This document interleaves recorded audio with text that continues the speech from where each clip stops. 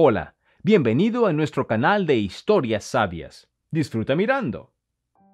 Arnau estacionó cerca del centro comercial y miró por la ventana. Era una tarde de principios de agosto. El día se acercaba a su fin, pero en verano, la oscuridad llega tarde y el fresco crepúsculo aún estaba lejos. Arnau había tenido un día desafiante en el trabajo, revisando los resultados de un mes de desarrollo en un nuevo proyecto, pero incluso disfrutaba el multitasking. En primer lugar, era interesante resolver las constantes preguntas que se asemejaban a un emocionante juego. En segundo lugar, al final del mes habría un buen bono además de su ya alto salario. Y en tercer lugar, los asuntos laborales lo distraían de pensamientos tristes, impidiéndole quedarse en el pasado. El cansancio y el ajetreo le servían de salvación de emociones pesadas. Arnau no tenía prisa por salir del coche. El interior era cómodo y fresco, mientras que afuera hacía un calor abrasador. El calor anormal había durado varias semanas, y la gente esperaba con ansias el otoño para poder respirar libremente. Arnau miró por la ventana de nuevo y notó a dos personas dentro de su campo de visión. Un hombre de mediana edad y un adolescente delgado, alto y algo anguloso. Caminaban y estaban inmersos en una animada conversación, el chico gesticulaba activamente y sonreía de vez en cuando. Su paso era ligero y saltarín, con brazos y piernas largos bronceados, llevando zapatillas desgastadas. Cada vez que Arnau veía a chicos como ese, inevitablemente se preguntaba cómo habría sido si él hubiera tenido un hijo propio que hubiera cumplido 14 años este verano y ya tuviera un pasaporte. Tal vez su hijo habría estado interesado en la programación o en deportes como el fútbol o el baloncesto, o tal vez le habría encantado dibujar. Pero, ¿de qué servía pensar en ello cuando ese niño nunca nació? Y tal vez ni siquiera era un niño, sino una niña. Sin embargo, algún sexto sentido le decía a Arnau que muchos años atrás perdió a su propio hijo, y fue su propia culpa. Pensar lo contrario sería un intento de justificarse y engañarse a sí mismo. A lo largo de los años, Arnau había lamentado su comportamiento innumerables veces, pero no podía retroceder el tiempo. Lo único que podía hacer era sufrir por la culpa, anhelar un futuro que nunca ocurrió, extrañar a Vicky e inútilmente buscar sus rasgos en otras personas. Buscar y, por supuesto, nunca encontrar. Arnau era una persona diferente en aquel entonces, joven y algo egoísta incluso caprichoso. Antes de conocer a Vicky, no quería recordar su yo pasado. Era embarazoso. ¿Cómo pudo haber actuado así? Arnau se dio cuenta de que sus pensamientos y recuerdos volvían a apoderarse de él. Sucedía a veces. Ciertas situaciones del pasado, voces, imágenes, todo seguía atormentándolo, y sospechaba que nunca lo dejaría en paz. Bueno, se había ganado una vida así. Arnau nació y creció en una familia bastante acomodada para su ciudad. Su padre era un exitoso empresario y su madre era la jefa de contabilidad de una gran fábrica. Vivían en una casa grande y hermosa.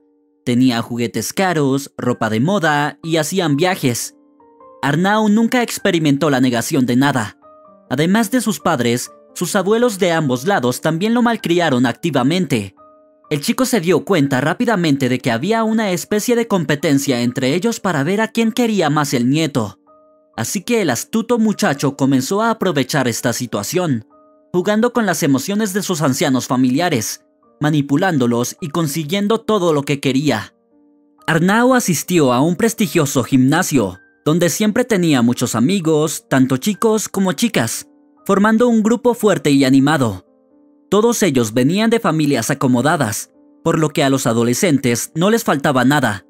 Cafés, atracciones, centros de entretenimiento y más tarde, clubes caros y fiestas en bares.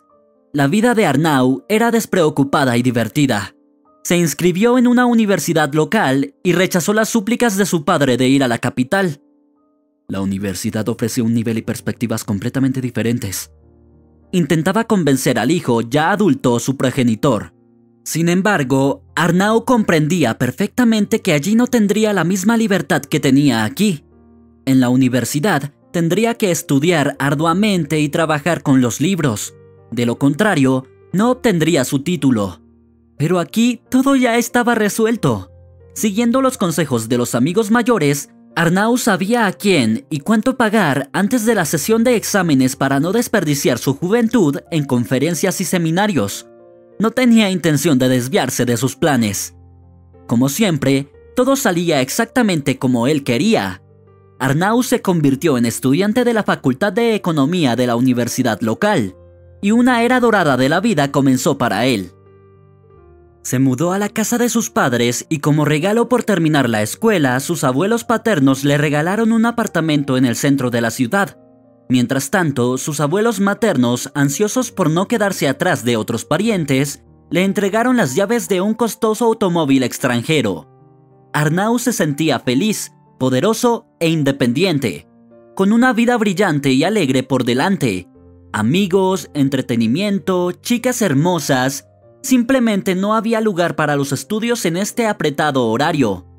Arnau apenas aparecía en la universidad. Solo se presentaba antes de la sesión de exámenes para arreglar las cosas con los profesores. Era algo habitual en la universidad.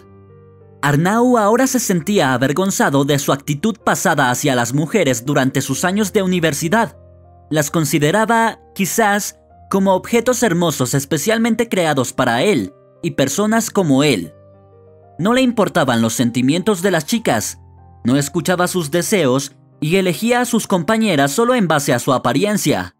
En su juventud, se sentía atraído por mujeres con apariencia de modelos, siempre con grandes ojos, desinhibidas y sonrientes.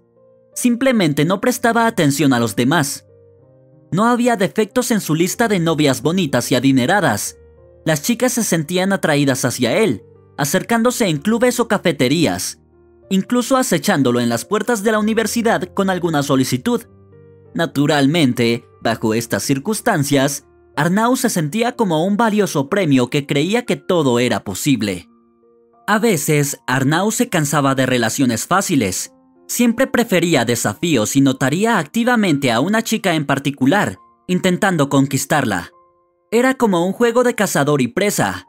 Algunas damas fingían inicialmente ser bellezas inalcanzables, pero Arnau sabía que el juego había comenzado y usaba todo su encanto para romper su resistencia. Disfrutaba esto, sintiéndose galante, creando algo similar a un hermoso cuento de hadas, enormes ramos de rosas, adorables peluches, joyas elegantes. También disfrutaba de acciones audaces y temerarias, como cantar una canción de amor con una banda de rock bajo la ventana de otra belleza. A Arnau le encantaba idear algo nuevo, sorprendente, que provocara deleite y admiración. Y pronto, incluso la más fría reina de las nieves se derretiría a sus brazos. Pero cuando el juego terminaba, el interés de Arnau se desvanecía rápidamente. La chica que antes le parecía misteriosa y atractiva de repente se volvía aburrida e insípida.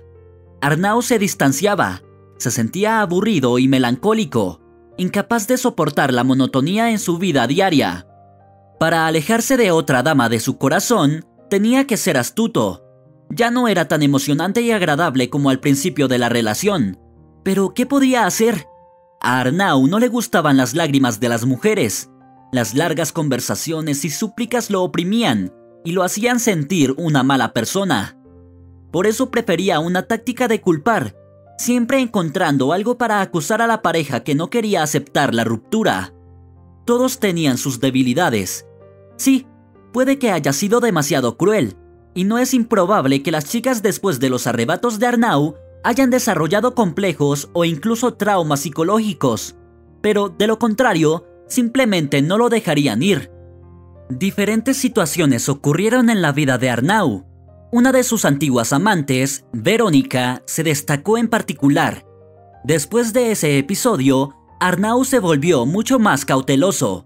Con Verónica, Arnau se encontró en una discoteca. Ella era el tipo de chica que le gustaba, vibrante, hermosa y desinhibida. Bailaba con tanto entusiasmo en la pista de baile que era imposible no notarla. Verónica ya estaba un poco tomada. Su larga cabellera danzaba con gracia mientras bailaba. Era el centro de atención y claramente lo disfrutaba. Arnau había terminado recientemente con Amanda. Habían estado saliendo durante casi tres meses, un récord para el joven. Ahora estaba en busca de nuevas aventuras. Por supuesto, de inmediato decidió que esa noche solo se iría del club con ella, la hermosa y joven chica con una audaz minifalda y sandalias de plataforma de tacón alto. Verónica lucía incluso un poco vulgar. Arnau entendió de inmediato que no se aburriría con esta chica. No se le acercó de inmediato.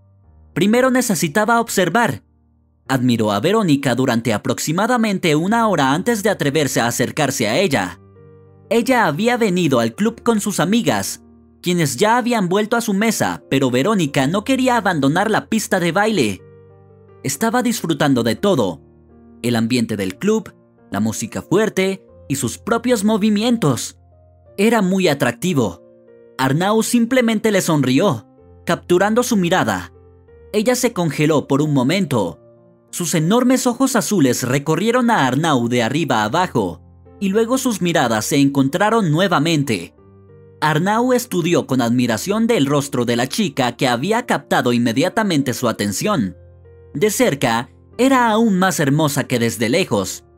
Pómulos esculpidos, labios marcadamente definidos, enormes ojos, simplemente insondables. La chica, sin decir una palabra, de repente se acercó mucho a Arnau. Encantado, observó sus graciles movimientos y esperó a ver qué sucedería a continuación. La belleza claramente tomó la iniciativa. Fue muy interesante e inusual, sin seguir el guion. Verónica miró intensamente a los ojos de Arnau y lo besó. Él, sin creer lo que estaba sucediendo, abrazó a la chica, atrayéndola hacia sí. Ella no se opuso. Luego bailaron juntos y Arnau se dio cuenta de que estaba encantado de esta extraña chica. Le encantaba el destello en sus ojos, un destello de locura ligera, y era muy diferente de las demás. Luego, finalmente, se presentaron y conocieron los nombres del otro. Verónica lo tomó de la mano y lo llevó al balcón, donde había tranquilidad y soledad.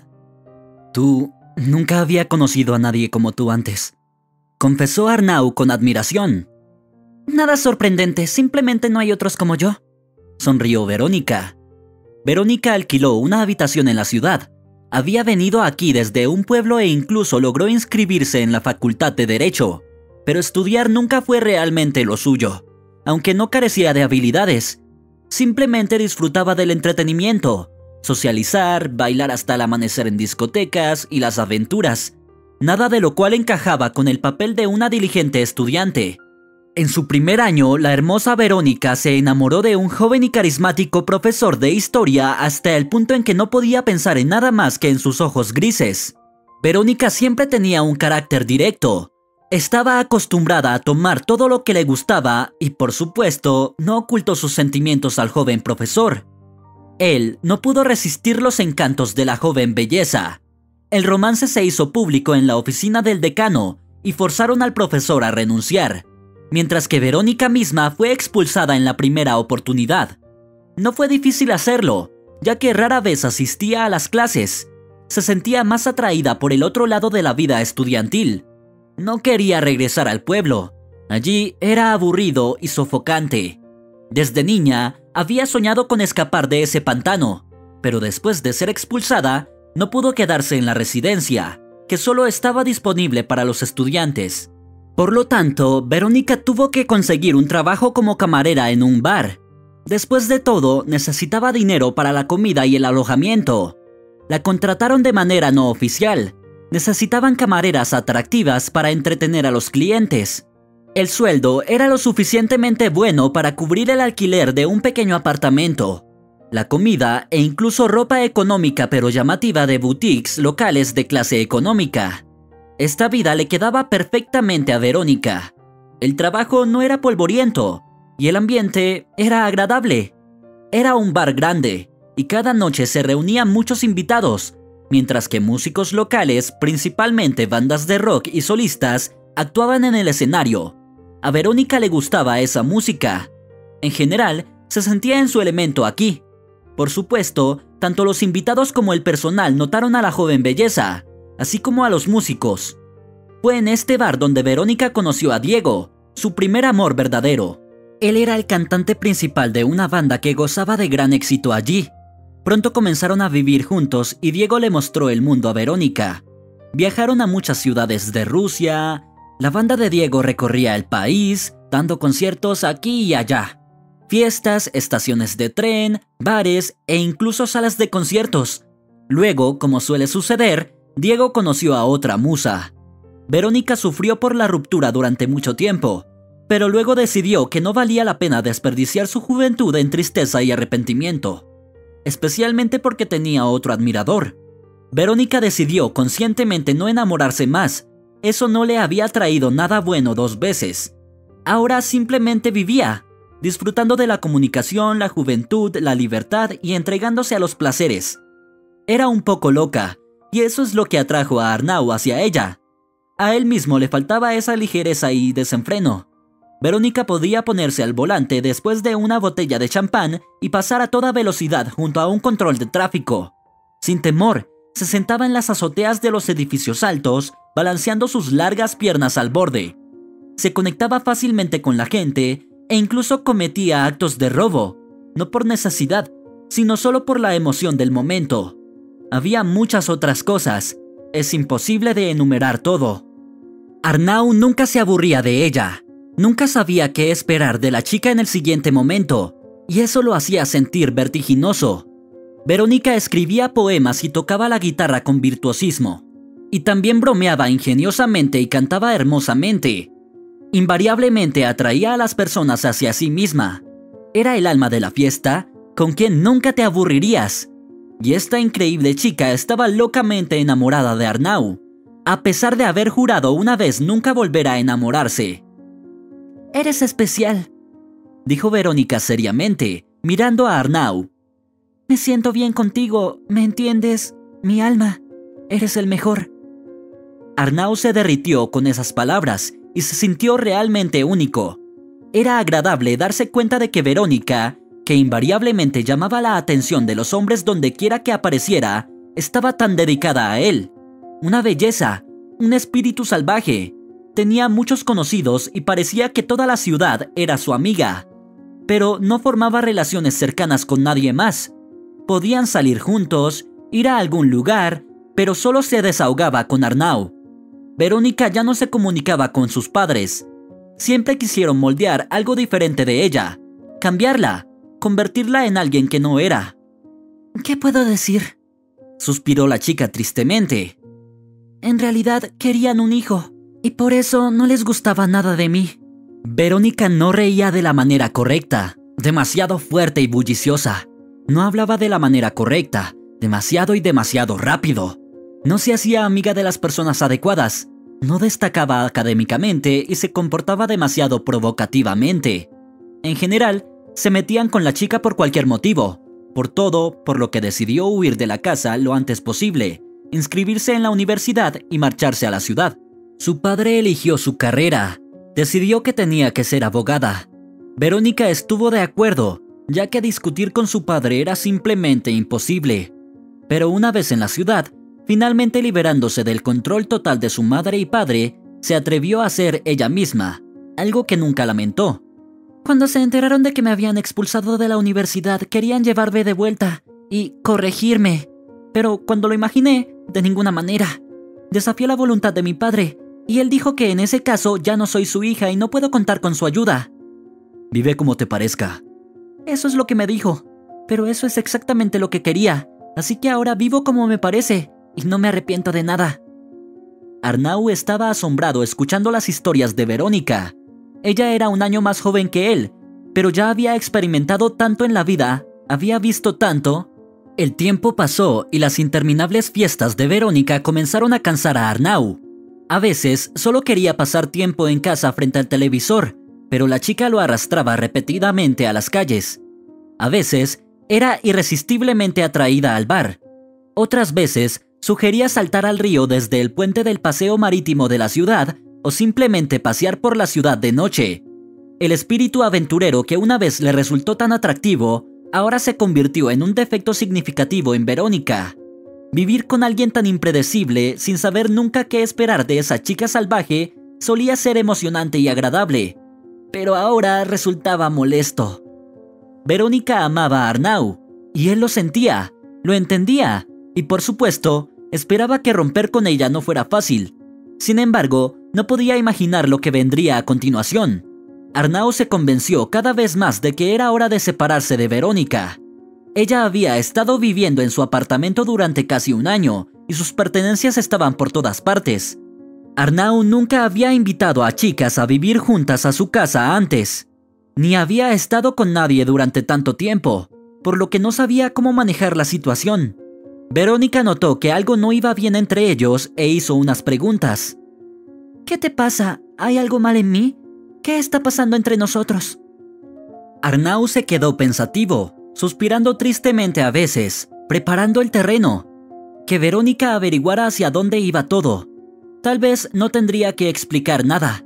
Sin embargo, la explicación finalmente llegó.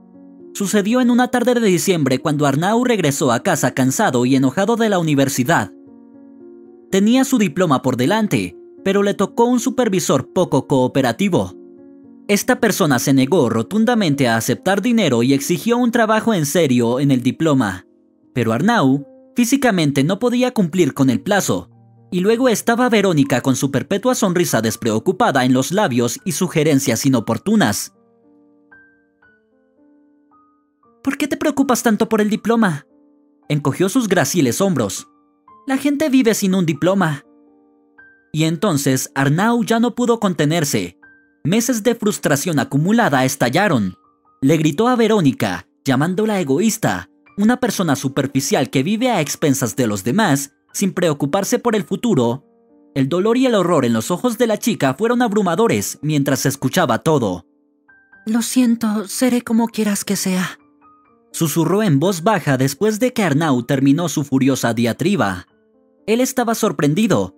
Esta chica había luchado tanto tiempo por el derecho a ser ella misma y comportarse como quisiera, y ahora decía que estaba lista para cambiarse a sí misma para complacerlo. Pero era demasiado tarde. Verónica, lo siento por haberte gritado.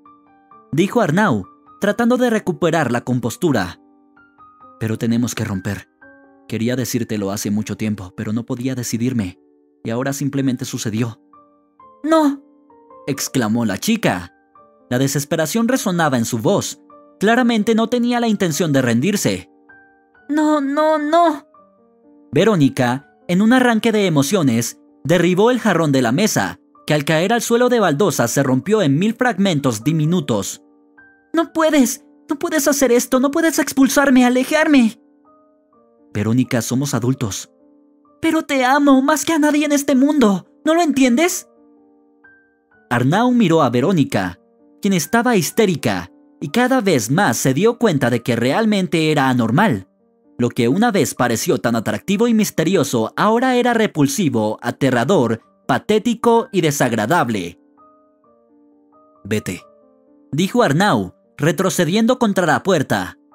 Trató de evitar su brazo. Verónica se aferró a él como una persona ahogándose se aferra a una paja. Logró empujarla fuera de la puerta, y no le preocupaba especialmente a dónde iría. Verónica tenía muchos conocidos en la ciudad, y tenía admiradores que la acogerían con gusto. No la dejarían abandonada. Esa misma tarde, Arnau empacó las cosas de Verónica, tal vez de manera cruel, pero no estaba obligado a tolerar a alguien mentalmente inestable a su lado solo porque tontamente la había llevado a su casa. Uno de los amigos de Verónica luego vino a recoger las cosas. Se puso en contacto con Arnau ella misma. ¿Cómo está ella? Preguntó el chico, más por cortesía. Según todos los protocolos sociales, simplemente estaba obligado a hacer esta pregunta. Llora todo el tiempo, no quiere nada. Confió tristemente el amigo. Arnau asintió, esperando que Verónica encontrara pronto consuelo y un nuevo amor. Había sucedido muchas veces en su vida. Era rutina para Verónica, pero Verónica no encontró consuelo. Por el contrario, comenzó a perseguir a Arnau con su característica obsesión. Un día, Verónica apareció en su universidad vestida con un atuendo que se asemejaba al de una monja una mirada sombría, una falda hasta los pies y su hermoso cabello escondido bajo un pañuelo en la cabeza. Estoy cambiando por ti, susurró, mirando a Arnau. ¿Ves? Estoy esforzándome tanto. Ahora soy diferente, sumisa, obediente. Haré todo lo que digas. No solo fue aterrador, fue horroroso. Arnau tuvo que hacer esfuerzos significativos para hacerla salir, y la situación empeoró a partir de ahí. Declaraciones de amor y súplicas de perdón aparecieron en las paredes del vestíbulo donde se encontraba el apartamento de Arnau. Verónica lo bombardeó con cartas electrónicas y en papel, algunas de las cuales incluso estaban escritas en formas de poemas. Donde quiera que Arnau iba, la encontraba, ya fuera en un centro comercial, un café, un bar o simplemente en un parque. Verónica lo perseguía, suplicando atención e incluso recurriendo a amenazas. Arnau no sabía dónde esconderse de ella. Ninguna cantidad de persuasión ayudaba. Era como si Verónica no lo escuchara. Seguía doblegando su línea, y eso daba miedo. Un día, Verónica lo atacó. Arnau acababa de defender su diploma y regresaba a casa después de la celebración dedicada a este evento tan esperado. Era muy tarde y no había nadie en la calle. Arnau salió del taxi, pagó al conductor y de buen humor se dirigió hacia su entrada. Verónica se lanzó sobre él como una furia, vestida completamente de negro, lo que la hacía mezclarse con el paisaje del amanecer. Si no quieres estar conmigo, entonces no pertenecerás a nadie más. Atacó Verónica a Arnau, quien quedó tan sorprendido que no resistió de inmediato. La chica poseía una fuerza verdaderamente inhumana, pero pasó por alto una cosa. Él seguía siendo un hombre, lo que significa físicamente más fuerte. Arnau logró apartar a la atacante. Verónica cayó al asfalto, golpeándose fuertemente la espalda. ¿Qué estás haciendo? Exclamó Arnau. Te has vuelto completamente loca. Busca ayuda. Lo siento, murmuró Verónica entre lágrimas que le corrían por las mejillas.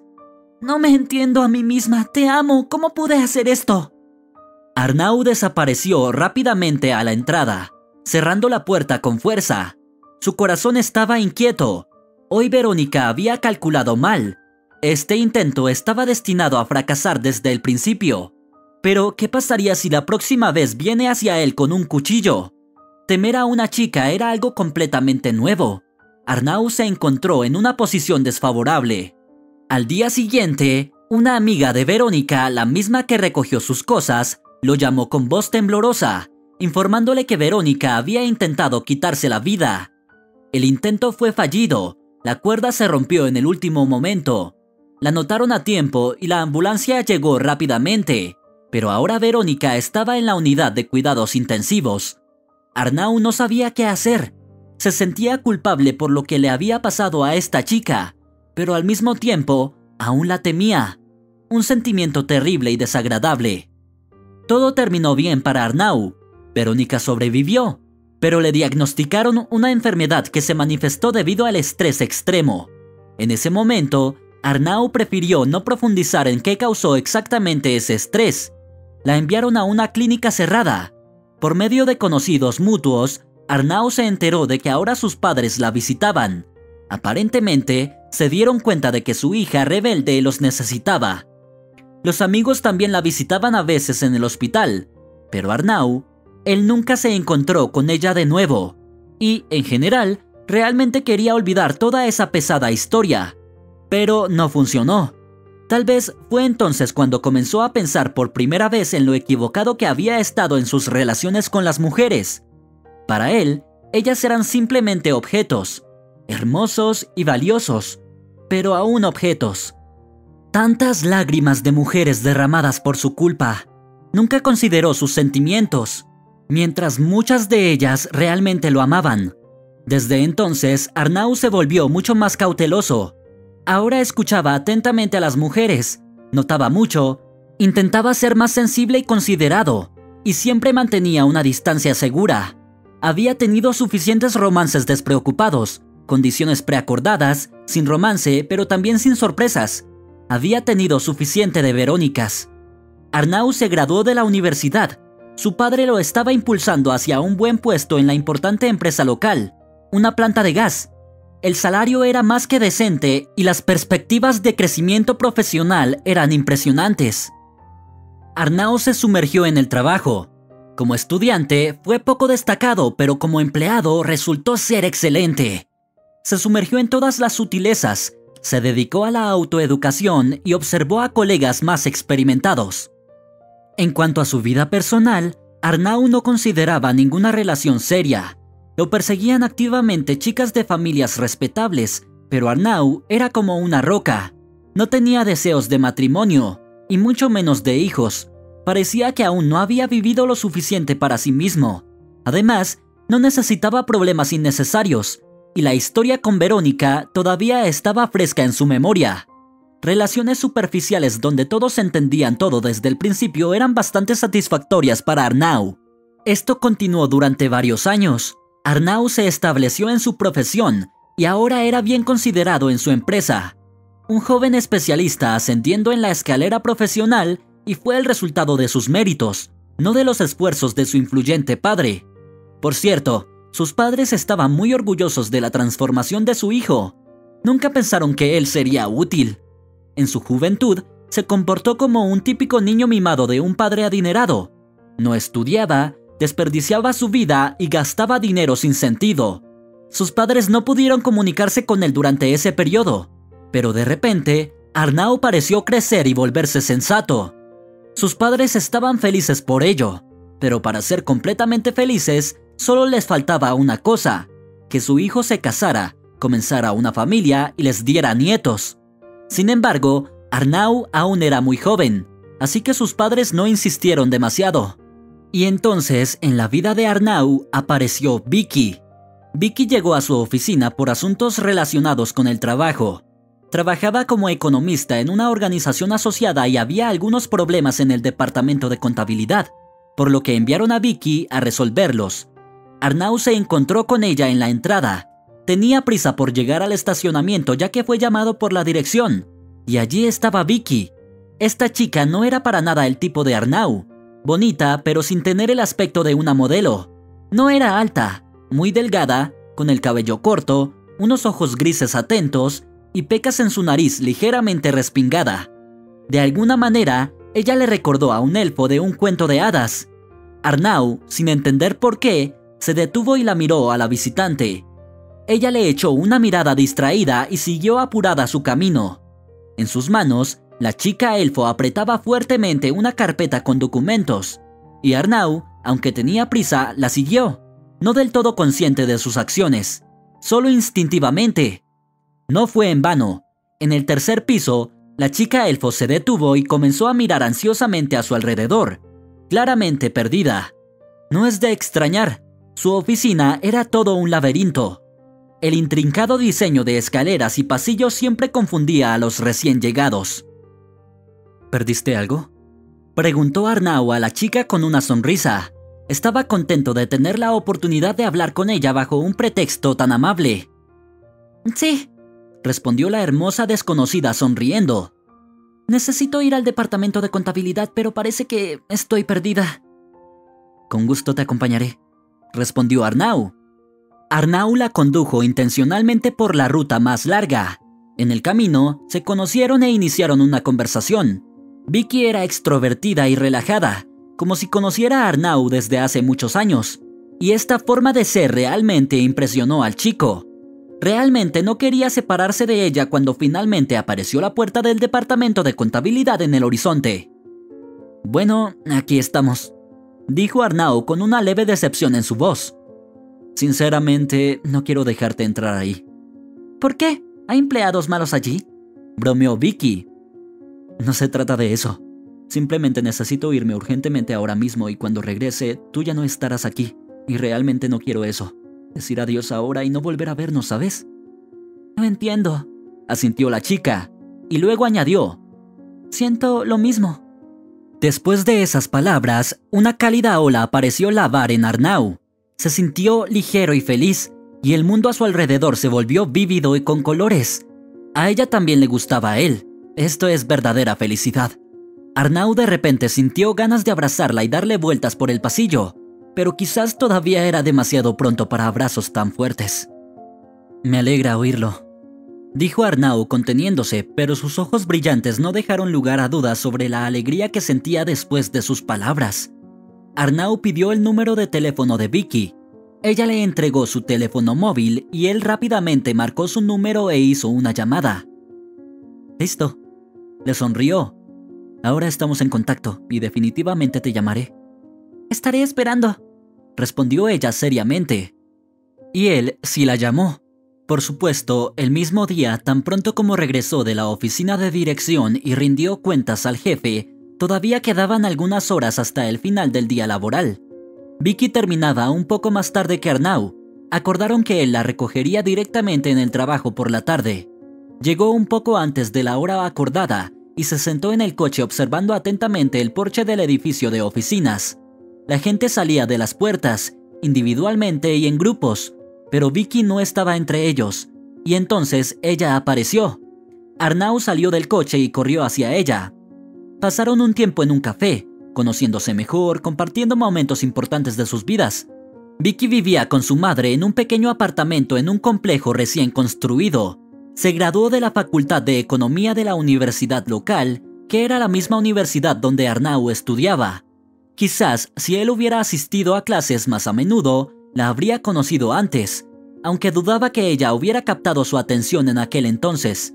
En la actualidad, Arnau no podía comprender del todo qué la cautivaba de Vicky. Externamente no era su tipo, pero su conversación, comunicarse con ella era increíblemente agradable y sin esfuerzo. Eran muy diferentes. Arnau era seguro de sí mismo en la vida, disfrutaba de las reuniones ruidosas y no temía decir la verdad a las personas, incluso si les dolía. No le gustaba indagar en los sentimientos de los demás y era conocido por su franqueza. En cambio, Vicky era muy delicada, tenía miedo de herir a los demás y era muy receptiva a los cambios en el estado de ánimo de las personas. Era tranquila, compuesta, seria, trabajadora, increíblemente responsable, un poco tímida, pero al mismo tiempo capaz de esforzarse al máximo para lograr sus metas.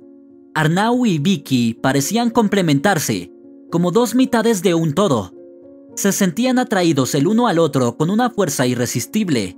No querían separarse en absoluto, así que pasearon hasta altas horas de la noche, simplemente tomados de la mano y sentándose en el coche, abrazándose. A Vicky le encantaban los museos y las exposiciones. También disfrutaba de paseos tranquilos, conversaciones sinceras y viajes al campo para admirar la naturaleza en paz. Arnau, por otro lado, le mostraba un mundo diferente, la llevaba a conciertos de rock e invitaba a sus animadas y alegres reuniones. A Vicky todo esto le parecía muy interesante. Arnau sabía con certeza que ella no fingía o actuaba feliz por complacerlo. En primer lugar, habían sido muy honestos el uno con el otro desde el principio, así que Vicky no ocultaría sus sentimientos. En segundo lugar, Arnau podía verlo en sus ojos. Había admiración, entusiasmo y un genuino interés. Arnau se sentía feliz a su lado y agradecía al destino por haberla traído a su vida cuando sus caminos se cruzaron en la puerta de la oficina y él no la dejó pasar de largo. Arnau conoció a la madre de Vicky, que resultó ser una mujer agradable, de la misma edad que sus padres. Preparaba té increíblemente aromático con hierbas del jardín y horneaba pasteles sorprendentes. Vicky siempre se quejaba de que no podía hacerlo bien, pero Arnau estaba dispuesto a perdonarle su falta de habilidades culinarias e ineptitud doméstica. Su timidez solo la hacía más encantadora para él. Arnau no sabía cómo sugerirle a Vicky que se mudara con él. Después de Verónica, nunca había invitado a nadie a vivir con él. Por supuesto, sería más lógico proponerle matrimonio a Vicky. Llevaban casi un año saliendo juntos y ambos estaban en la edad adecuada para casarse. Sin embargo, Arnau dudaba y temía dar ese paso tan importante. Había muchas razones para ellos. Desde muy joven, sus padres le habían advertido sobre matrimonios imprudentes. Eres un joven destacado y próspero, un joven más que envidiable. Su madre instruyó a su heredero. Habrá chicas a tu alrededor que sueñen con un matrimonio por conveniencia, se casan con chicos ricos al principio y luego se divorcian de ellos y les exigen legalmente el dinero y propiedades. ¿Sabes cuántas historias de este tipo hay? Sé cauteloso. Y no es que Arnau sospechara que Vicky fuera codiciosa. No, nunca pensó en ella de esa manera. Pero la idea de que el matrimonio, una boda, era una decisión increíblemente responsable y reflexionada y que no había necesidad de apresurarse con ello, se había afianzado firmemente en su cabeza. ¿Y a dónde se estaban apresurando de todos modos? Ambos aún eran lo suficientemente jóvenes para vivir la vida al máximo, divertirse, viajar, y en cuanto a una boda, el registro matrimonial y otras formalidades podrían esperar. Además, Arnau aún no quería privarse de una salida. Sí, todo era perfecto entre él y Vicky ahora, pero quién sabía qué depararía el futuro. No, Arnau amaba a Vicky y era plenamente consciente de ello. Nunca había sentido emociones tan fuertes por nadie más antes, pero quién sabía qué les depararía el futuro. La historia con Verónica lo había vuelto muy cauteloso. Además, el matrimonio implicaba tener hijos y Arnau ciertamente no estaba listo para eso. Asumir esa responsabilidad, ni hablar. Todavía no había saciado su vida. Había tantas cosas interesantes en la vida sin todos esos pañales y ropita de bebé. Ante los ojos de Arnau, había ejemplos de personas casadas. Con la llegada de los hijos, las relaciones entre los jóvenes esposos cambiaban y, en la mayoría de los casos, para peor.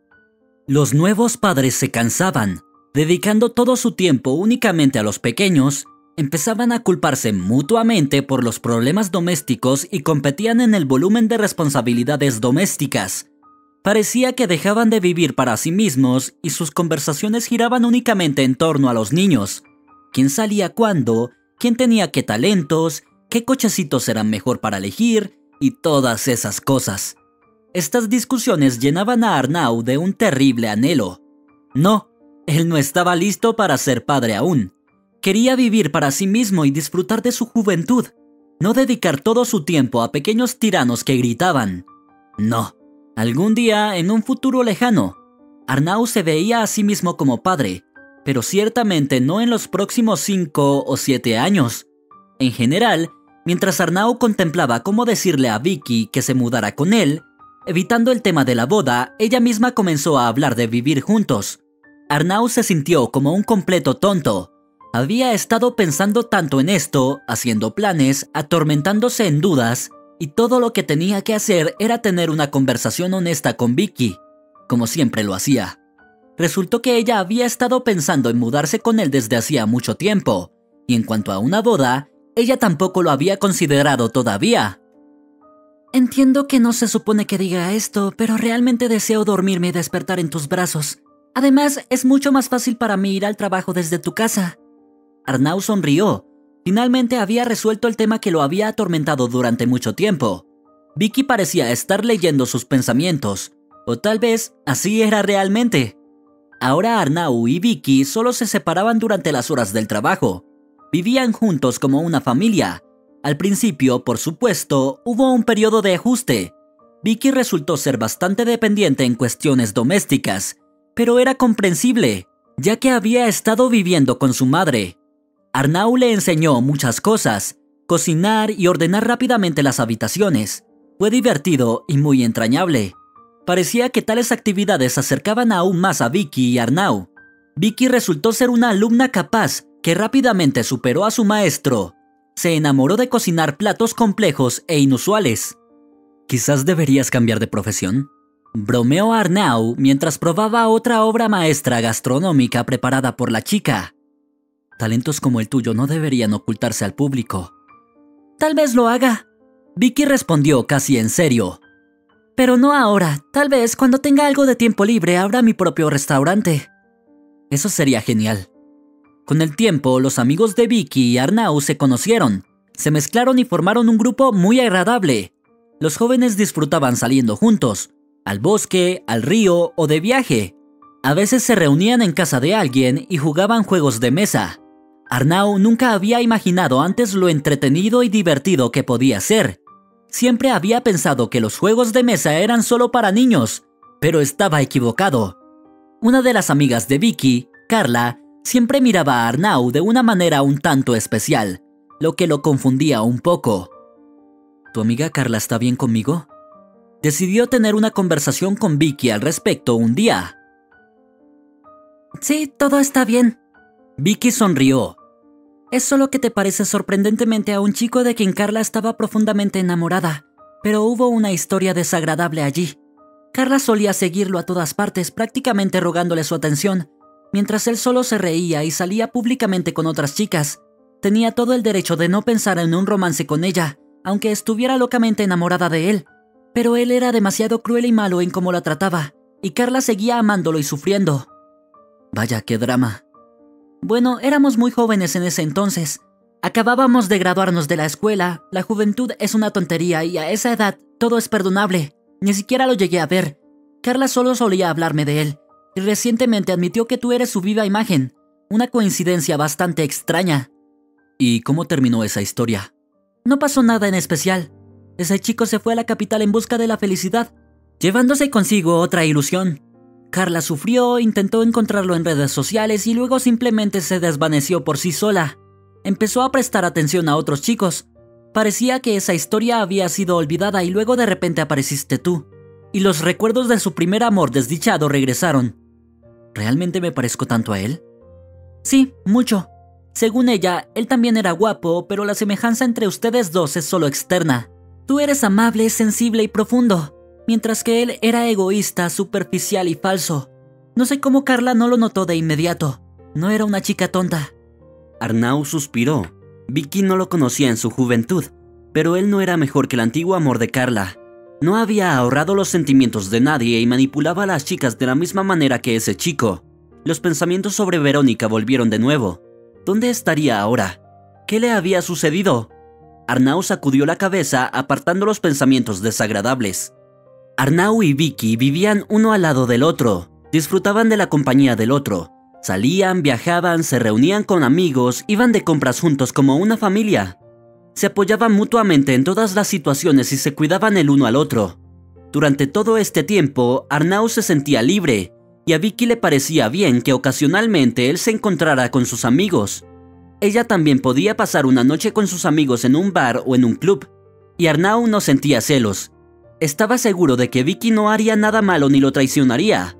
Esto continuó durante varios años, y Vicky a veces pensaba en el futuro. Soñaba con tener hijos, ya quería ser una madre. Arnau lo notó, pero él aún no estaba listo para la paternidad. Arnau y Vicky discutieron abiertamente sobre este tema. Tengo mucho más que hacer antes de tener un hijo, razonó Arnau. Tengo metas profesionales y otras cosas por lograr. Sueño con hacer una gira por África salvaje, aprender a pilotear un avión y comenzar mi propio negocio. Todo esto sería complicado si tengo que cuidar de niños. Aún tengo sueños por realizar y planes por cumplir, así que no estoy listo para tener hijos todavía. Es una lástima, suspiró Vicky. He estado soñando con tener un hijo contigo desde hace mucho tiempo, pero si no estás listo esperaré. Quiero que este hijo sea una alegría para ambos. No me conformaré con menos. Arnau se alegró de que Vicky entendiera y aceptara su decisión. Estaba dispuesto a hacer muchas cosas por ella, pero tener un hijo no era una de ellas, al menos por el momento. Pero el destino, como suele ser, tenía sus propios planes. Un día, Vicky compartió con Arnau unas noticias que dieron un vuelco a su estable, feliz y despreocupada vida. Arnau, necesitamos hablar en serio. ¿Ha pasado algo? Arnau sintió una leve sensación de preocupación. Vicky parecía visiblemente angustiada y pálida, como si pudiera estar gravemente enferma. Ha pasado algo y ni siquiera sé cómo decirte. Arnau de repente pensó que ella lo estaba dejando. El miedo se apoderó de su corazón como una mano helada. No estaba listo para perder a Vicky. ¿Y si ella había conocido a alguien más? Habla directa y sinceramente, como siempre lo haces. Me resulta difícil hacer esto. Después de todo, conozco tu postura con el tema. En resumen, estoy esperando un bebé. ¿Qué? Arnau sintió como si lo hubieran golpeado en la cabeza con una bolsa de arena. La noticia lo afectó profundamente y sintió que el pánico lo invadía lentamente. La idea de la paternidad inminente lo asustó. No sé cómo sucedió. Usábamos protección, pero estas cosas pueden pasar. Ya he ido al médico y me dijo que ningún método proporciona un 100% de garantía, así que... Vicky, sabes que no puedo ser padre en este momento, dijo Arnau suavemente mirándola a los ojos. Estoy empezando a desarrollar mi negocio y tengo un largo viaje de negocios por delante. Además, tengo tantos otros planes por realizar. No es el momento para un hijo, para nada. No entiendo. Bajó la mirada Vicky. Pero este hijo ya existe, ¿sabes? Incluso me dejaron escuchar sus latidos de corazón. Es un milagro. Sé cuánto lo deseas, pero no puedo. No tengas miedo. Vicky tomó sus manos y lo miró a los ojos. Todo estará bien. Solo piénsalo, tenemos todo lo que necesitamos para hacer feliz a este bebé. Un apartamento, trabajo, dinero, todo. Las personas dan a luz en circunstancias mucho más difíciles y aún lo logran. Nosotros también seremos felices, no tengas miedo. Estamos juntos. Arnau negó con la cabeza, y de repente una imagen de su amigo, que recientemente se había convertido en padre, pasó frente a sus ojos. Cabello desordenado, una camisa salpicada de puré, ojos rojos por falta de sueño y una sonrisa tonta e insensata en su rostro. No, Arnau no quería convertirse en eso. Por lo tanto, insistió en la interrupción. Era difícil pronunciar incluso esa palabra mirando a los ojos de Vicky, pero ¿qué más podía hacer? Se trataba de libertad y seguridad. Además, no estaba rechazando la idea de tener un hijo en absoluto. Por supuesto, tendrían hijos con Vicky algún día, pero no ahora, definitivamente no ahora. ¿Cómo no podía entenderlo? Habían discutido esto tantas veces y acordado no apresurarse a tener un hijo. Al menos, ¿entiendes lo que me estás proponiendo? La voz de Vicky tenía un tono firme, y era comprensible. También le resultaba difícil a ella. Sí, pero a veces suceden cosas. La medicina está avanzada ahora, el tiempo todavía es corto y será rápido e indoloro, sin consecuencias. Arnau sabía que estaba pronunciando palabras muy aterradoras, pero no podía hacer otra cosa en este momento. Simplemente no podía. Además, él también tenía voz en este asunto, porque tener un hijo cambiaría y trastornaría por completo su mundo. Vicky debería tener en cuenta sus deseos, pero ella lo miraba como si fuera un completo desconocido. Sus ojos reflejaban dolor, decepción e incredulidad. Me estás asustando, dijo Vicky. Me estás asustando mucho. Si supiera cuánto me asustas a mí. De repente, Arnau recordó las palabras de su madre, su advertencia sobre las chicas astutas que quedan embarazadas para casarse con hombres adinerados y luego manipularlos. Solo quieres que me case contigo, dijo Arnau. Eres igual que todas las demás. Y yo pensé...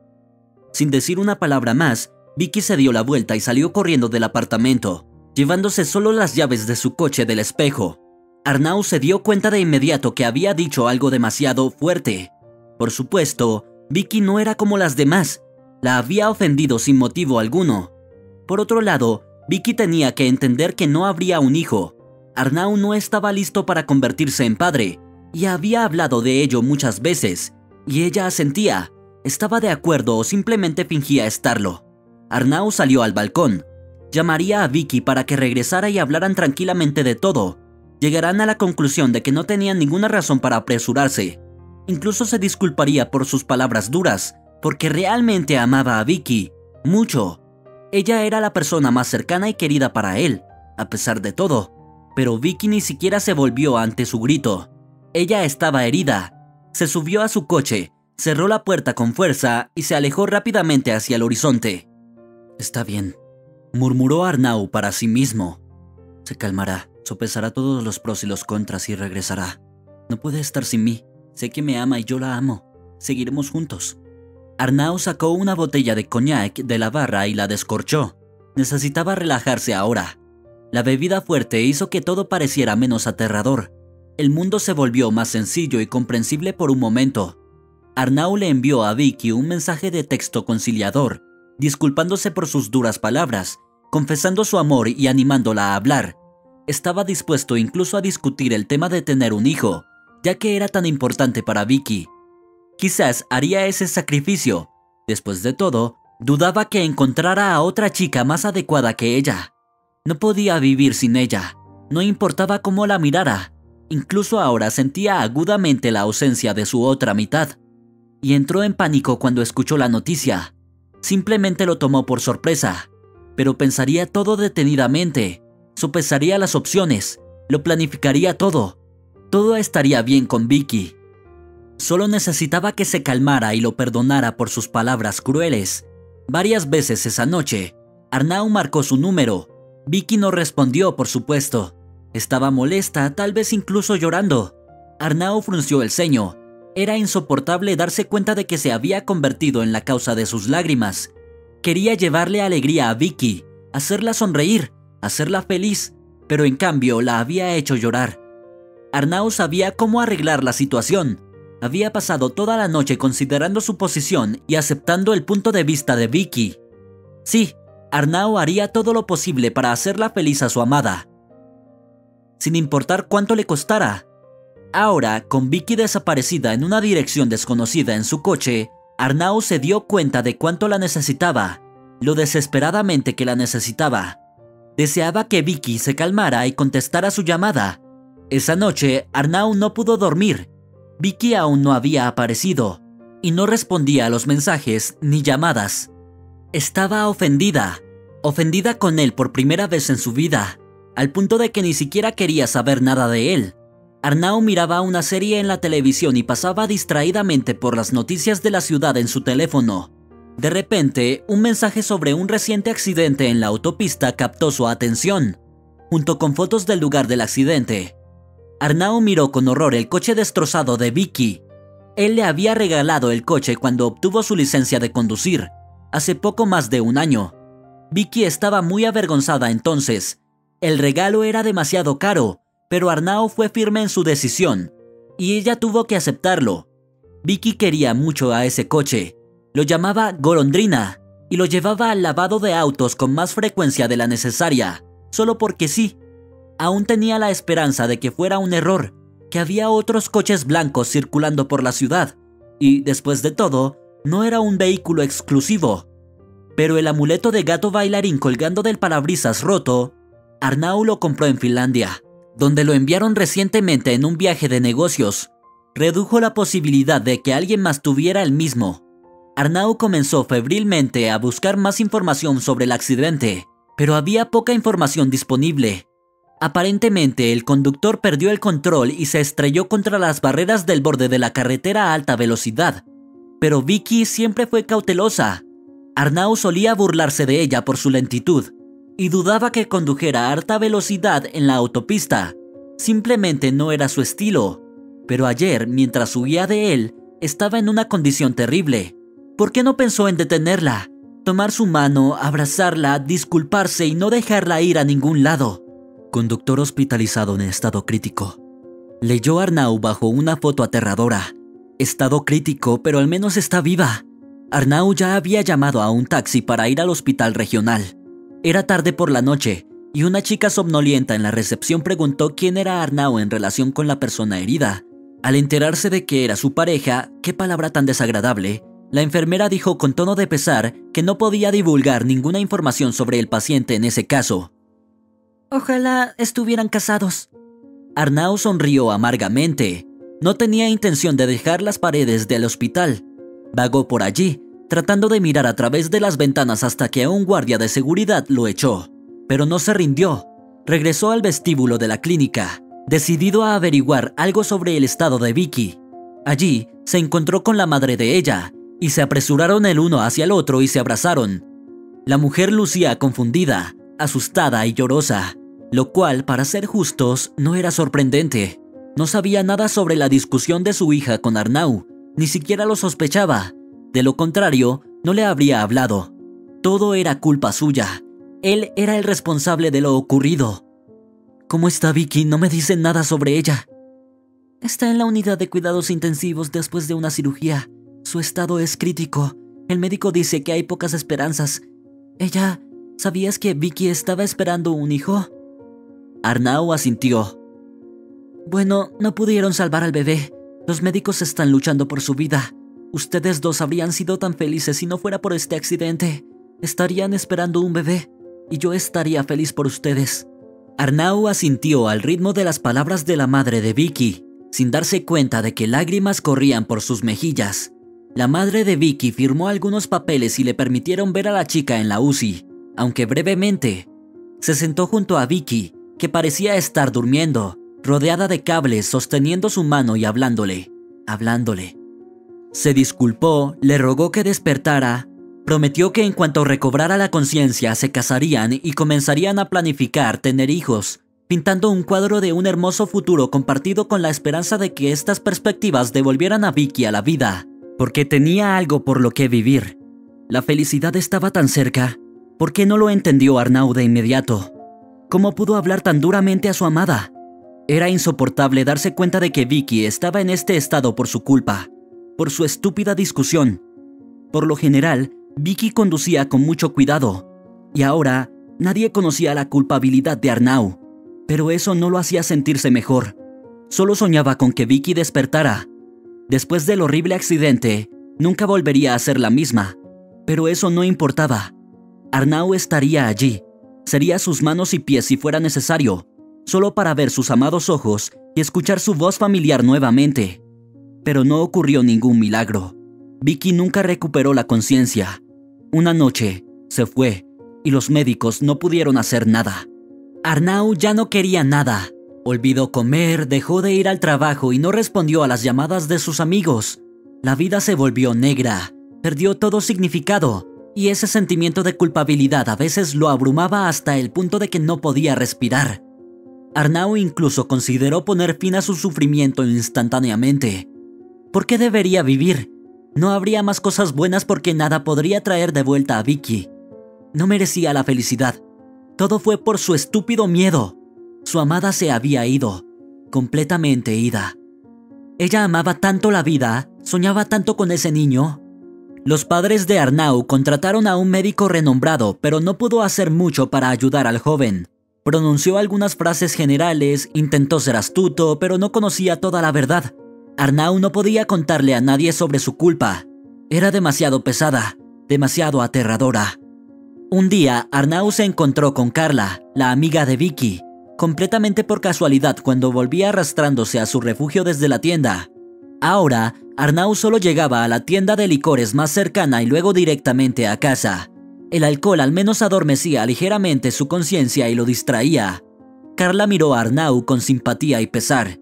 Ella también experimentó la pérdida de su mejor amiga, y eran muy cercanas, pero cuando se enteró del estado de Arnau, Carla vino a apoyarlo. Era una persona increíble. El joven no se opuso a su compañía y la invitó a su casa. Se sentaron a la mesa, recordaron a Vicky, lloraron y de repente Arnau decidió confesar. Le contó a Carla la verdad, todo sobre su comportamiento de pesadilla antes del fatídico accidente. Entonces, es mi culpa, concluyó. Pensó que Carla lo insultaría y regañaría, lo que sería bastante razonable y justo, pero ella lo compadeció. Simplemente increíble. No tienes la culpa de nada, es solo cómo se desarrollaron las circunstancias. Carla acarició la cabeza de Arnau, como a un niño pequeño, y él se sintió más ligero. Tenías miedo y Vicky también estaba asustada y confundida. Ninguno de los dos lo deseaba. Llovía ese día, la carretera estaba resbaladiza. No es tu culpa, es una combinación de circunstancias. Carla ayudó a Arnau más que un costoso psicólogo. Empezaron a llamarse de vez en cuando y a hablar, y estas conversaciones tuvieron un efecto salvador en Arnau. Gradualmente se recuperó, volvió al trabajo y salió del profundo pozo negro donde había pasado mucho tiempo. Sus padres estaban felices. Los colegas y amigos notaron que Arnau volvía a ser el mismo, pero todos estaban equivocados. Arnau sabía con certeza que nunca sería el mismo de antes. Han pasado muchos años desde aquel día terrible, y Arnau todavía contaba la edad de su hijo. Si hubiera nacido a tiempo, ahora tendría 14 años. Cuando Arnau veía a chicos de la edad de su hijo en la calle, no podía evitar preguntarse cómo hubiera sido su hijo. Los recuerdos lo abrumaban nuevamente, justo como ahora. Por supuesto, ese dolor agudo que sintió en los primeros días después de la tragedia ya no estaba presente, pero el anhelo y la tristeza por lo que no ocurrió ahora permanecían para siempre con Arnau. Y él había llegado a aceptarlo. Arnau no se encontró con ninguna mujer que se pareciera remotamente a Vicky, como era de esperar. Quizás no había ninguna como ella en el mundo, y él no se conformaría con algo menos especialmente después de haber experimentado el verdadero amor, el tipo de amor que le sucede a las personas solo una vez en la vida, y tal vez nunca para algunos. Arnau estaba a punto de salir del coche para ir al supermercado cuando de repente llamó su atención un niño de tres años. Un niñito diminuto con una camiseta claramente demasiado grande para él, que rebuscaba rápidamente cerca de los contenedores de basura. El niño se subió a cajas apiladas para llegar al borde del contenedor de lo contrario, no habría podido ver dentro. Con sus manitas, buscaba diligentemente sobras en la basura. Como había un restaurante en el centro comercial, a menudo se tiraba comida descartada en los contenedores. Todos los indigentes locales lo sabían, así que no era raro ver a personas buscando cerca de los contenedores. Sin embargo, generalmente eran adultos o adolescentes, pero este era solo un niño pequeño. Un niño tan pequeño no debería estar solo hacia afuera. ¿Podrían estar sus padres cerca? Arnau miró a su alrededor. No había adultos a la vista. El pequeño estaba deambulando solo y por sus movimientos seguros y resueltos parecía que ya había hecho esto antes. Era extraño y muy sospechoso. Arnau no podía dejar al niño desatendido. ¿Quién sabía qué le podría pasar a alguien tan pequeño?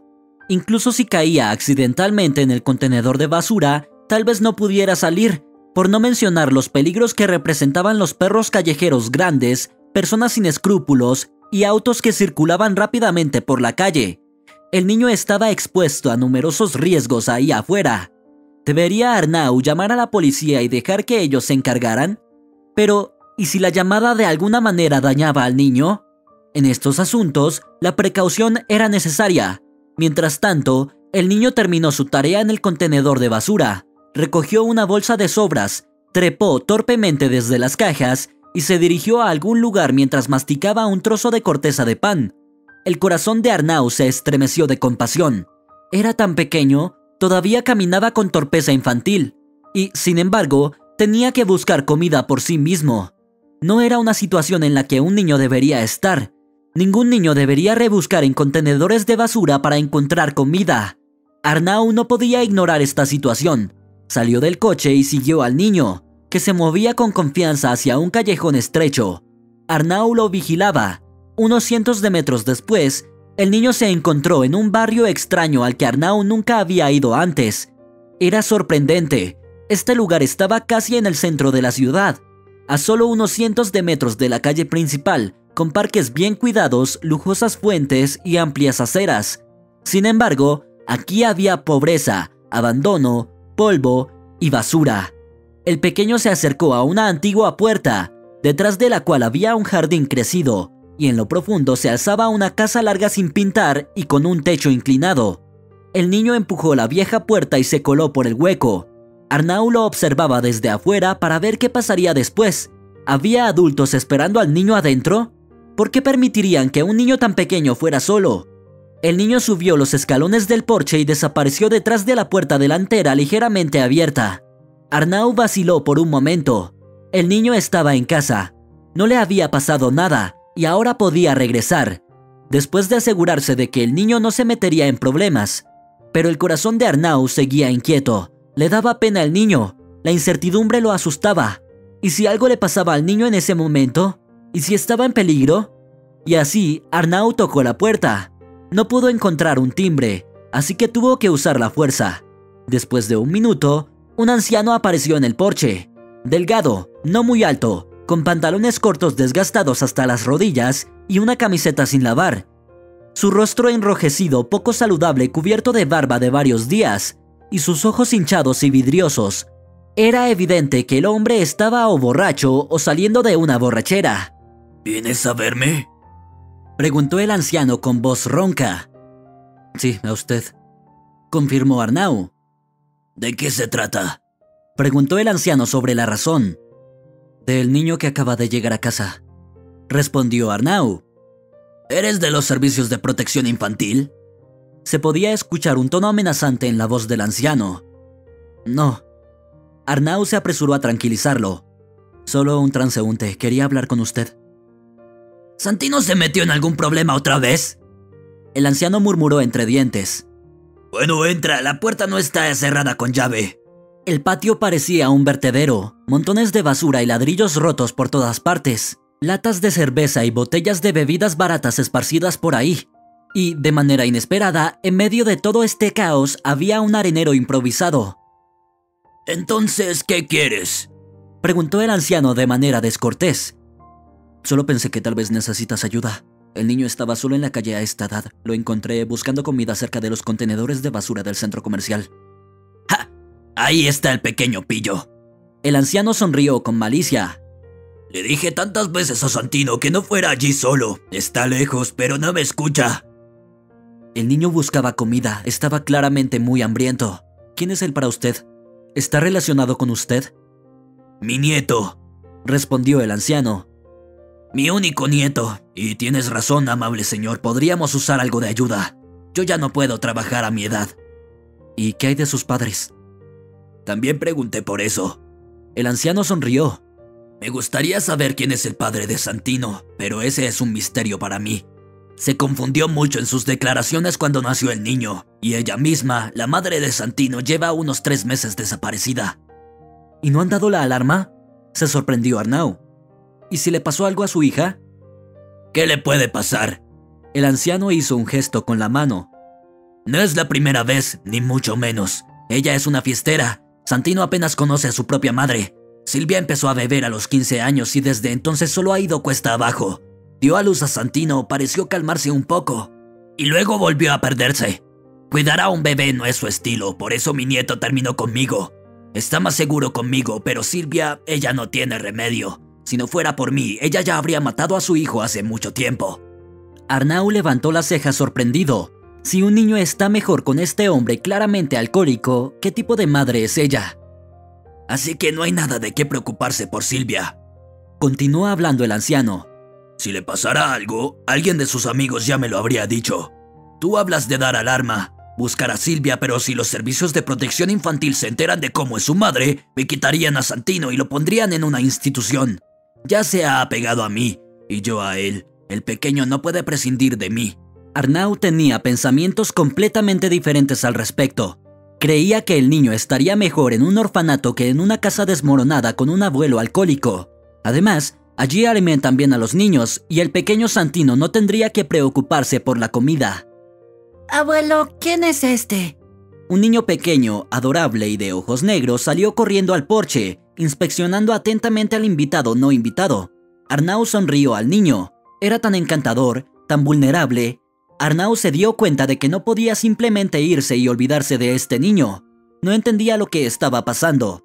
Arnau de repente sintió el deseo de proteger al niño de todas las dificultades y desgracias que le habían sucedido. Este es un buen tío, explicó el anciano. Quiere ayudarnos. ¿Tienes hambre? preguntó Arnau, tratando de hacer su voz lo más suave posible. No. Santino negó con la cabeza. Tenemos mucha comida en casa, yo la traje. ¿Quieres comer con nosotros? Arnau fue inmediatamente a la tienda más cercana y compró dos bolsas de comida para Santino y su abuelo. Había carne, frutas y dulces para el pequeño, así como algunos juguetes de plástico barato de una tienda local. Santino estaba encantado con ellos. Arnau luego reflexionó mucho sobre este encuentro fortuito. Santino estaba en peligro con tales parientes, pero su abuelo tenía razón. Un orfanato no sería mejor para el niño. Santino era tan sensible, vulnerable y encantador necesitaba amor y atención, y su abuelo lo amaba, lo amaba a su manera, y el niño podía sentirlo. El orfanato sería muy duro para él. Ahora Arnau visitaba a menudo a Santino, llevándole comida, juguetes, libros, disfrutando del tiempo que pasaba jugando y charlando con el pequeño, y teniendo conversaciones con su abuelo sobre la vida. El hombre cuidaba al niño, no podía dejarlo. El abuelo de Santino seguía bebiendo, a veces solo, a veces con amigos que bebían. Parecían ser personas pacíficas e inofensivas, tratando a Santino con calidez y preocupación, y nadie dañaba al niño, pero aún así, no había nada bueno en que estuviera en ese ambiente. La madre de Santino nunca apareció. Parecía que había olvidado por completo a su hijo y a su padre. Déjala en paz. El anciano hizo un gesto con la mano cuando Arnau preguntó por su hija. Si no se presenta, está todo bien con ella. Volverá en cuanto necesite algo, ya ha pasado antes. Arnau trató de llevar al abuelo de Santino al hospital. Después de todo, su edad era bastante avanzada y tal vez el tratamiento ayudaría, y el anciano dejaría de beber, y tal vez incluso se haría cargo de su nieto. Los milagros ocurren. Sin embargo, en este caso, el abuelo se negó rotundamente a cualquier tratamiento, insistiendo en que estaba perfectamente bien. ¿De qué alboroto se trata? Tengo una casa, hay comida en el refrigerador. No todos son tan ricos como tú para vivir. La mayoría del país está luchando, al igual que nosotros y Santino. No conviertas una tragedia en nada. Estás ayudando a un niño de una familia pobre. Bueno, muchas gracias, no es en vano, pero otras cosas no son de tu incumbencia. El anciano no podía estar de acuerdo en que estaba haciendo algo mal. En su visión del mundo, esa vida era una variante normal. Todos vivían así. Arnao continuó visitando a Santino y ayudando a la familia con comida. Él mismo no entendía por qué se había encariñado tanto con Santino. Tal vez veía en él a su propio hijo no nacido. El pequeño niño se sentía atraído por Arnau, lo quería con todo su corazón e incluso le hacía algunas manualidades. Era muy tierno. Arnau se sorprendió a sí mismo esperando ansiosamente los viernes, el día que visitaba a Santino y a su abuelo, y ninguna otra tarea podía distraerlo de esa visita. El abuelo de Santino tenía el número de teléfono de Arnau. Se lo había dado por si acaso, en caso de que necesitaran ayuda urgente, pero el anciano nunca le molestó. Sin embargo, ahora llamó en mitad de la semana y Arnau de inmediato sintió que algo andaba mal. Tenemos problemas, informó el anciano. Ven, están llevándose a Santino de mí. Arnau se apresuró hacia la casa conocida. Estaba muy preocupado por Santino. ¿Qué le había pasado al niño? El anciano no había explicado claramente a dónde lo llevaban, tal vez al hospital, pero resultó que Santino estaba sano. Estaba sentado en el regazo del anciano, llorando y mirando a las dos mujeres policías con miedo en sus ojos oscuros. Cuando Santino vio a Arnau, rompió a llorar de nuevo, tal vez aliviado, y sus ojos estaban llenos de esperanza en su amable tío. ¿Ves? Te lo dije. El anciano le dio palmaditas en la cabeza. Te dije que vendría el tío Arnau, y todo estará bien. ¿Qué está pasando? Preguntó Arnau a las mujeres policías. Estamos tratando de llevar al niño para colocarlo en una institución para niños, explicó una de las mujeres. Y este hombre que afirma ser el abuelo del niño se niega a entregarlo. Él está perturbando al niño añadió la segunda oficial. El niño tiene miedo de nosotras ahora, se aferra a su abuelo y no viene hacia nosotras. La madre de Santino falleció. El anciano explicó desde su rincón. Lágrimas se acumulaban en sus ojos, pero las contuvo con fuerza de voluntad. Resulta que murió en el garaje con sus amigos hace una semana, bebiendo y escuchando música en el coche. Bueno, eso es todo. Y ahora quieren enviar a Santino a un orfanato porque yo no soy nadie para él en el papel. Pero no lo entregaré. No pueden llevárselo de su propio abuelo. Así que eso fue lo que sucedió. Stepa era ahora un huérfano, y era poco probable que lo dejaran con su abuelo. Su edad no era adecuada, y su estilo de vida estaba lejos de ser el ideal. Pero era verdad, Santino no podía ser enviado a un orfanato. Se rompería allí. Era un niño de un espíritu libre y curioso que necesitaba amor y atención. No sería fácil para él una institución. ¿No podemos dejar las cosas como están, al menos por ahora? Aclaró Arnau. El asunto es que la madre no estuvo involucrada en la vida del niño, ni siquiera lo conocía. Fue criado por su abuelo y eso no cambiará. Él seguirá viviendo con él como lo hizo antes. Yo estoy pendiente de él. Prometo estar aquí todos los días para ayudar. Tenemos órdenes de llevar al niño. La oficial mayor negó con la cabeza. Debemos llevarlo. El abuelo puede intentar solicitar la custodia, pero sinceramente no creo que funcione. ¿Qué tal si yo solicito la custodia? Estas palabras salieron de los labios de Arnau antes de que tuvieran la oportunidad de pensar a fondo la idea. Al decir la frase, Arnau se dio cuenta de que realmente lo pensaba. Estaba dispuesto a convertirse en el padre de Santino, amándolo, cuidándolo y atendiéndolo. No me importa, tranquilizó el abuelo, abrazando a su nieto. Santino estará bien con Arnau. Ellos se quieren mucho. Firmaré todo lo necesario, solo no lo lleven a un orfanato. ¿Tú? Se sorprendió la policía. Puedes hacerlo, por supuesto. Podemos establecer una tutela temporal para ti. No será por mucho tiempo. Pero si quieres adoptarlo permanentemente tendrás que pasar por el entrenamiento de padres adoptivos, reunir numerosos documentos y también obtener el consentimiento de tu pareja. No estoy casado. Bueno, entonces la adopción está descartada. El niño necesita una familia completa. Está bien, arreglemos una tutela temporal por ahora y luego resolveremos el resto. Eso se puede hacer, pero el niño no puede vivir aquí. Estas condiciones no son adecuadas para él. De acuerdo. Arnau rápidamente arregló la tutela temporal para Santino y lo llevó a su propio hogar. Los ojos de Santino se abrieron de sorpresa cuando vio el apartamento limpio y espacioso. Nunca había estado en casas así antes, y claramente le gustó. Sin embargo, Arnau necesitaba una niñera para Santino, ya que tenía mucho trabajo y no podía dedicar todo su tiempo al niño. Entonces, Arnau recordó a Carla, la amiga de Vicky, amable, sensible y comprensiva. Carla una vez había ayudado a Arnau a recuperarse y volver a la vida. Todavía se comunicaban ocasionalmente, intercambiaban mensajes en redes sociales y se felicitaban en días festivos. Arnau sabía que Carla se había divorciado recientemente de su esposo y se había ido con su hija pequeña, de la misma edad que Santino. Debido a enfermedades constantes, había perdido su trabajo y ahora ganaba un ingreso modesto. Arnau le había ofrecido un trabajo en su departamento más de una vez, pero Carla lo rechazó, ya que necesitaba cuidar a su hija. La niña estaba muy enferma y no podía asistir al preescolar, por lo que trabajar estaba fuera de discusión. Ahora Arnau tenía una maravillosa propuesta para Carla. Podría convertirse en la niñera de Santino. Él arreglaría un buen salario para ella y ella podría realizar sus deberes profesionales sin separarse de su hija. Todo sería perfecto. Carla con dinero y trabajo, su hija con ella y Santino bien cuidado. Además, los niños de la misma edad seguramente se divertirían juntos. Carla aceptó encantada la propuesta Ahora, cada mañana, ella vendría al lugar de Arnau con su hija, y él podría ir al trabajo con tranquilidad, sabiendo que Santino estaba en buenas manos. Era un tiempo increíblemente acogedor y tranquilo. Arnau disfrutaba de volver a casa ahora, donde era recibido por una sonriente Carla y niños alegres.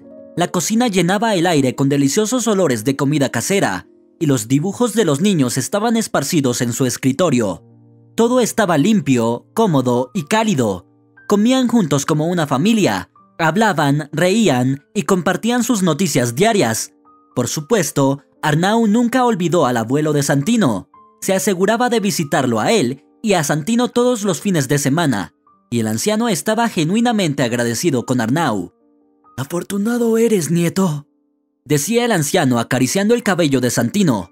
No sé qué hizo el destino para bendecirte con una persona así. Sin embargo, después de unos meses, Arnau recibió una llamada de los servicios de protección infantil, recordándole que pronto tendrían que llevar a Santino al orfanato. El plazo de la tutela temporal estaba llegando a su fin, y solo el pensamiento lo hizo congelarse de miedo. Santino, el niño confiado y adorable, terminaría en una institución a menos de que Arnau encontrara la manera de adoptarlo. Arnau tenía los medios, con riqueza más que suficiente, pero solo podían entregar al niño a una familia completa. Eso significaba que Arnau tenía que casarse, incluso si era un matrimonio falso en papel, para cumplir con los requisitos. La única pregunta era, ¿a quién podría recurrir con una solicitud tan inusual? Tenía que ser alguien en quien pudiera confiar. La respuesta vino naturalmente. La candidata perfecta estaba en casa de Arnau todos los días. Carla, necesitamos hablar seriamente le dijo un día. Arnau le explicó la situación, por qué necesitaba ese sello en su pasaporte y finalmente le hizo la propuesta. Carla lo escuchó atentamente, ocasionalmente olvidando respirar. Arnau la miró, convencido de que ella rechazaría. En cualquier momento diría numerosas razones por las que no podía hacerlo, y tendría razón. Era realmente una situación inusual. Arnau, dime, ¿no te acuerdas de mí en absoluto? Una pregunta extraña. Arnau miró a Carla con asombro. Claro que sí, te presentó Vicky. ¿A qué te refieres? No, nos conocíamos antes de eso. Carla suspiró. O más bien, yo te conocí a ti. Probablemente ni siquiera te fijaste en mí. Solía seguirte por la universidad, tratando de llamar tu atención, tratando de conocerte. Estaba locamente enamorada de ti, y parecía que cambiabas de novias como de guantes. Y como pensé entonces, te burlabas de mis sentimientos. Más tarde me di cuenta de que nunca me notaste en absoluto. Espera, ¿ese era yo? Arnau no podía creer lo que estaba escuchando. Vicky me habló de un antiguo amor tuyo, pero luego el chico aparentemente se mudó a la capital, si no me equivoco. Bueno, les conté a mis amigos eso cuando decidí pasar página en mi vida. Ellos no sabían de quién hablaba. Hablé de ti, pero nunca te mostré a ellos. Vaya, Arnau solo pudo decir, esto es tan extraño e inesperado. Y ahora, después de muchos años, de repente me propones. Sonrió Carla. Claramente no es real, pero aún así, esa es la ironía del destino. ¿De verdad me amabas tanto? ¿Cómo pude no darme cuenta? Se preguntó Arnau. Amaba, nunca sentí emociones tan intensas por nadie más. Fue lo mejor que fuera tan intensas, incluso destructivas. pero luego logré olvidar y dejar de amarte. Crecí y me di cuenta de que eras un playboy egoísta e irresponsable, incapaz de acciones responsables y valientes. Tienes razón, ese era yo, admitió Arnau. No tú, no más. Esa persona ya no existe. Frente a mí ahora hay un hombre amable, valiente, atento, maduro y confiable. Esta persona no pudo ignorar el sufrimiento de un niño pequeño. Esta persona resuelve problemas, no huye de ellos. Entonces, ¿te estás volviendo a enamorar de mí? Bromeó Arnau, aún sin poder superar la inesperada confesión de Carla. Muy posible, sonrió la mujer. ¿Por qué no? Bueno, ¿te casarás conmigo entonces? ¿Tú qué crees? Una playa desierta, cubierta de suave arena blanca, olas turquesas y tranquilas del océano. El sol rojo descendiendo rápidamente detrás del horizonte, gaviotas volando a lo lejos sobre el agua brillante. En la orilla se reunió una familia. Un hombre bronceado con pantalones cortos de baño azules jugaba el fútbol con dos niños, un niño con inteligentes ojos negros y una encantadora niña. Gritos, risas y bullicio alegre llenaban el aire. La madre de la familia sonrió, mirando a sus seres queridos felices desde una cómoda tumbona, saboreando un cóctel tropical y llevando un sombrero de ala ancha. Se veía relajada y contenta. El jefe de la familia finalmente tuvo tiempo libre y decidieron ir juntos a la costa del océano. La mujer se levantó y se acercó lentamente a los futbolistas de playa, levantando nubes de arena bajo sus pies. Arnau, es hora de que los niños cenen y necesitan irse a la cama temprano. Recuerda que tenemos una excursión a las 8 de la mañana. Por supuesto, sonrió el hombre.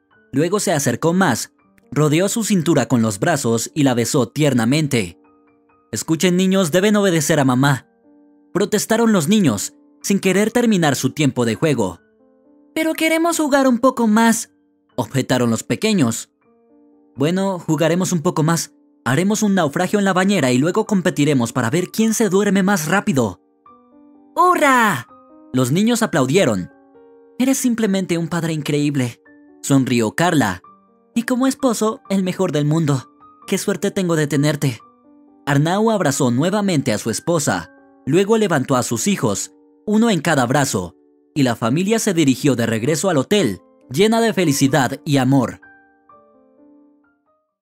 Si te ha gustado la historia, por favor, dale un me gusta y suscríbete al canal.